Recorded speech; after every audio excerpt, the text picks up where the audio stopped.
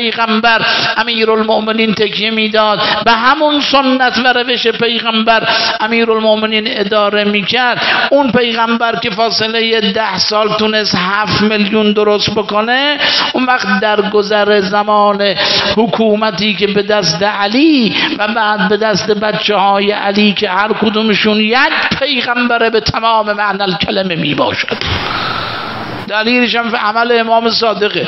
یه عصای تو دست حضرت صادق بود.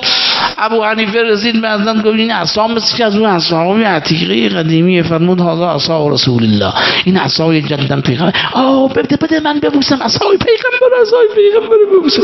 فرمود این عصا چوب عصای پیغمبره. اگر راست میگی این دست دست پیغمبره. اینو ببوس. اگر سقیفه بنی ساعد سر پا نمی‌شد همونی که فاطمه زهرا فرمود. همونی که خود عمر در اون ساعت واپسین حیاتش وقتی خواست تعیین شورای شش نفره کنه شش نفر رو خودش تصویب کرد. تله زبیر عبدالرحمن ابن عوف عثمان ابن عفان چی اون یکی دیگه سعد وقاص و امیر المومنین سلام شش نفر گفت اینا رو من کاندید کردن. بیشینین یکی از اینا رو انتخاب بکنید. وقت روی اون شش نفر رو هر کدومشون عیب گذاشت. فقط رو علی ابن ابی طالب همین عمر ناجن گفت اگر کار به دست زبیر بیفته این زبیر عیبش اینه این ایراده داره به درد نمی‌خوره. کار به دست طلعه بیفته اینم خیلی زنباره است خیلی عیاش و کیافه. کار به دست ابو اون یکی چیه؟ سعد ابن ابی وقاص اینم یک آدم متکبری می باشد اینکه خودش خیلی الوان ننش متواضع بوده. بعد خود این نامردش گفت اما اگر کار به دست این اصلح و انزع البتین. علی ابن ابی طالب قرار بگیره. هر این امت رو به شاه راه هدایت میرسان یعنی قول عمره. عمریام نوشتن. درست شد. اما نگذاشت.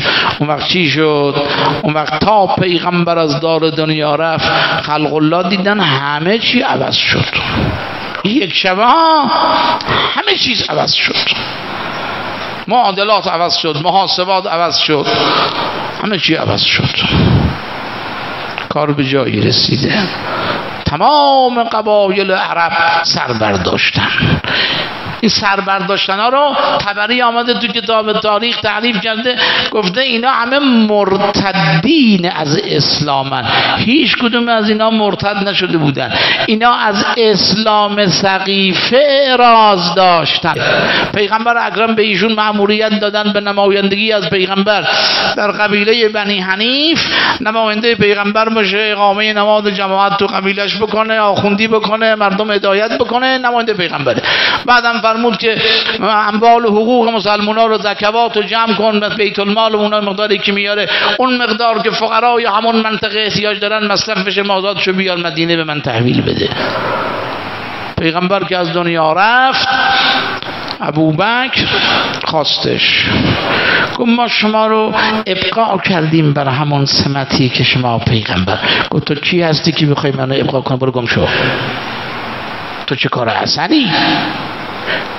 ما خلیفه مسلمین این غلط کردی که خلیفه مسلمینی. اینجوری باش برخورد بخون تاریخو. من تو رو قبول ندارم.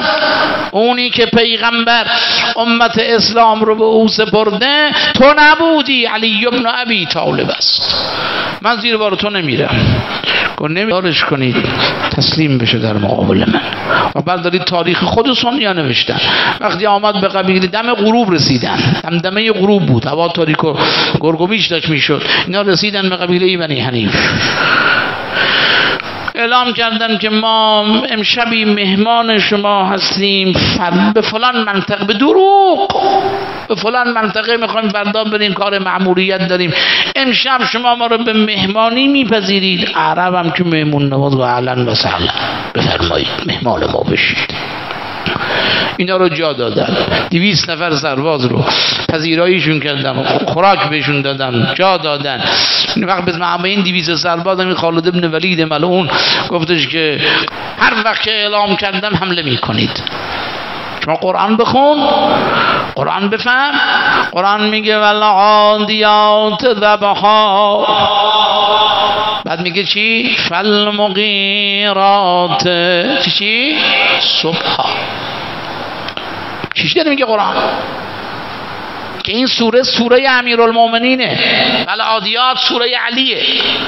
تمامش در وصف علی.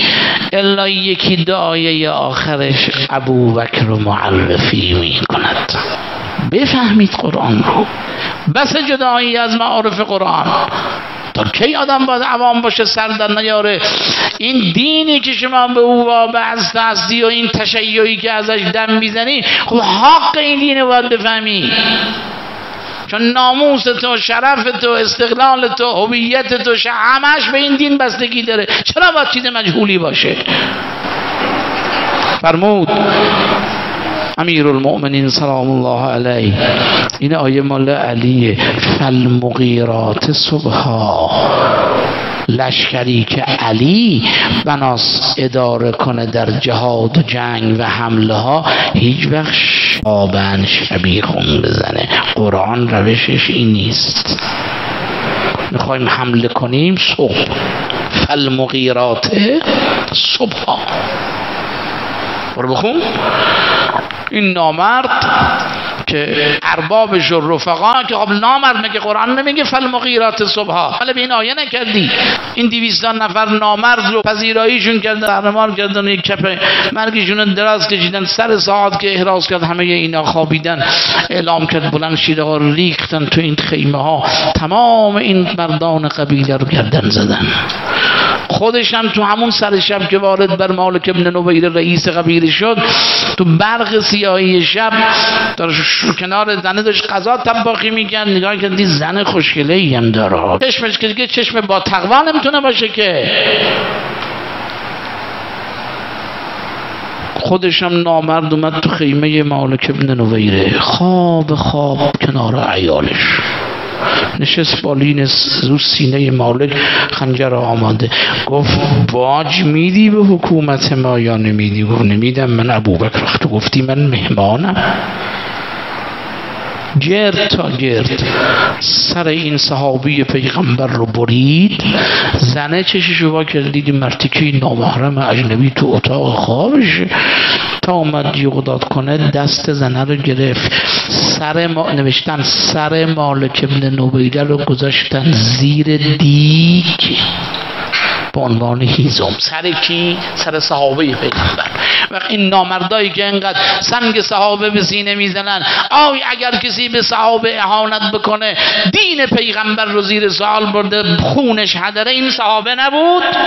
اون فجاعه سلمی از اصحاب پیغمبر این حد فاصله بین باب جبرئیل و بقیه قرقد که امروز شما بهش میگی بین الحرمین مدینه.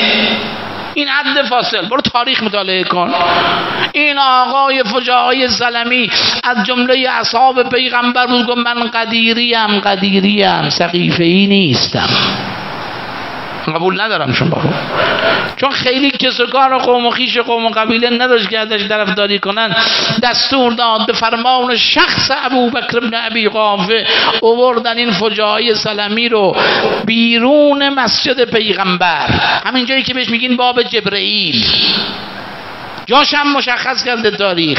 اووردن دست و پاشو بستن. عین همین کاری که داعشی ها می‌کنن. دست و پاشو میبندن گلن بنزین میریزن براش میسوزونن تکبیرم میگن. میگن ما داریم احکام خدا پیاده می‌کنیم. این مشرکه این ملحده این قبر پرسته این عمر امام پرسته به همین ترهات می‌کشن شیعیان اهل بیتو دیروزم همینجور بود. گرفتم. فجاعه سالمی رو؟ پشتشو پر از هیزم کردند خووندنش دمر بار هیزم رو ریختن پشتش.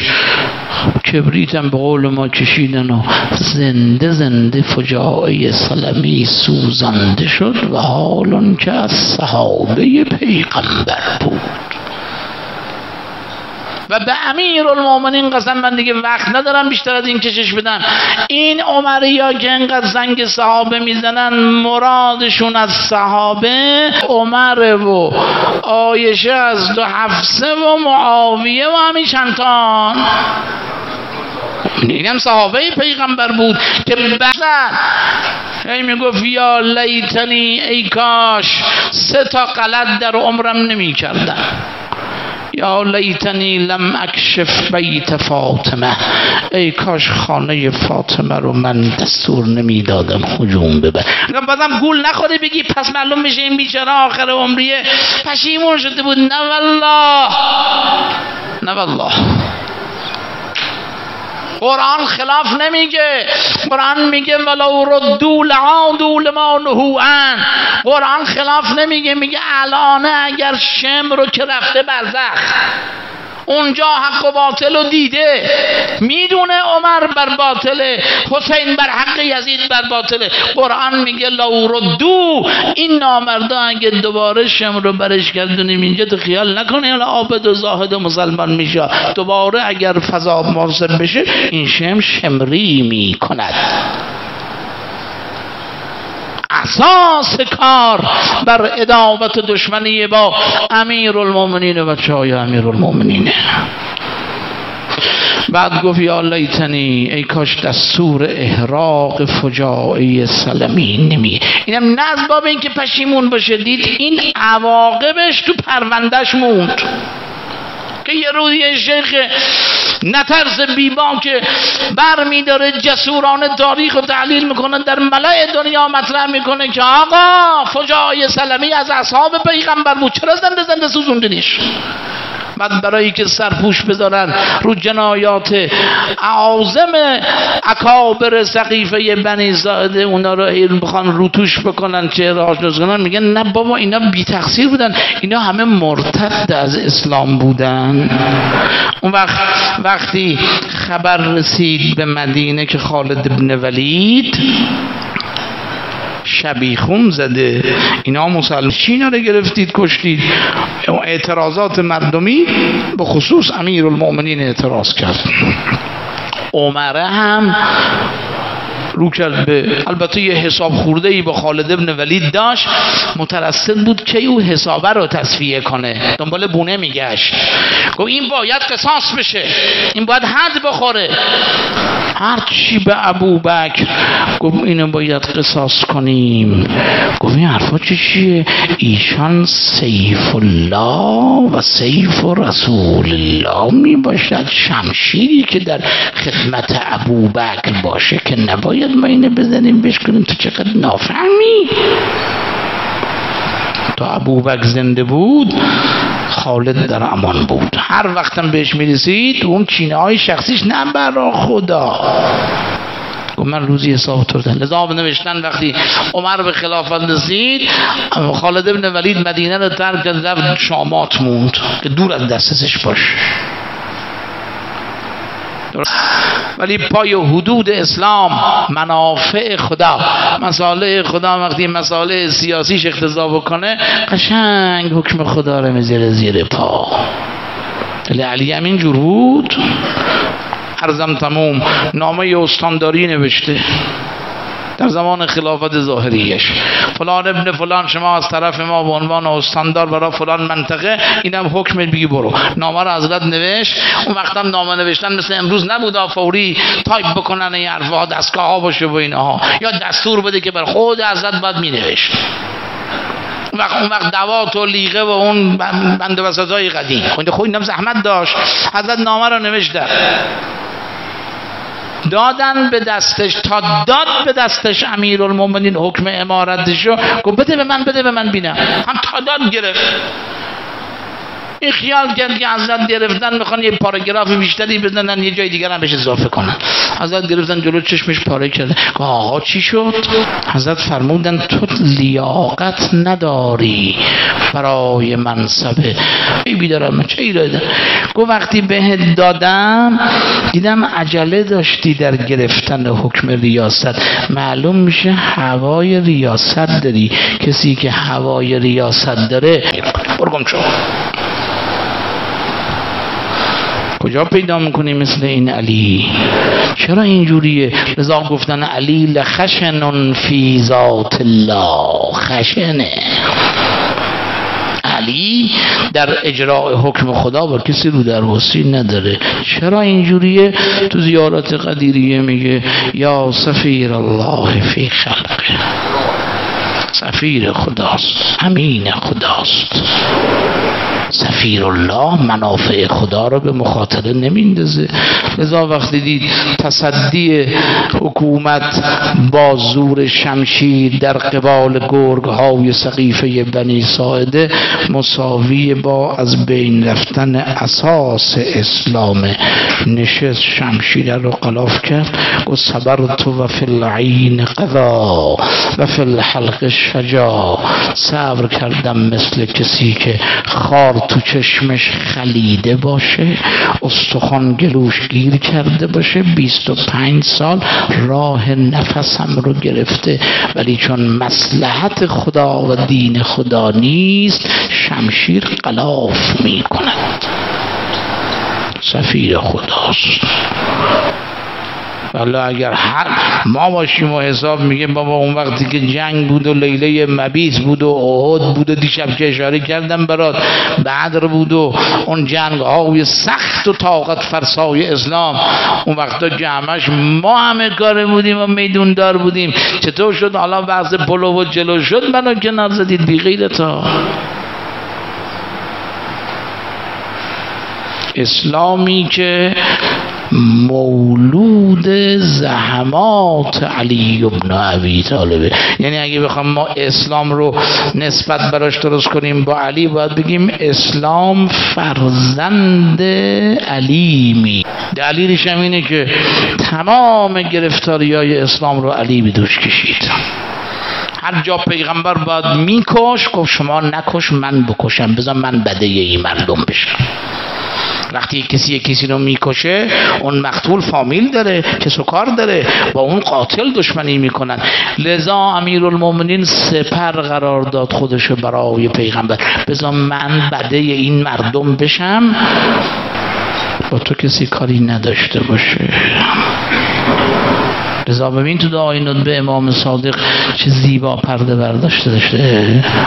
احقادا بدریتا و خیبریتا و حنینیه این جمله امام صادق در دعای آوار شده سر علی مظلوم